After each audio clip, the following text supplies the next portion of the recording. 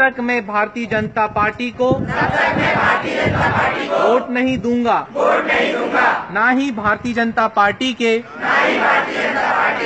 किसी कार्यकर्ता का कोई सहयोग करूँगा।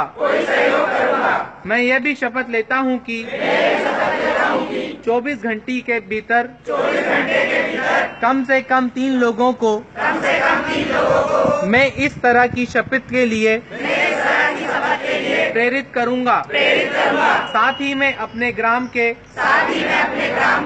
और अपने क्षेत्र के भारतीय जनता पार्टी की भारतीय जनता पार्टी के भ्रष्टाचार भ्रष्टाचार अन्याय अन्याय के बारे में के बारे में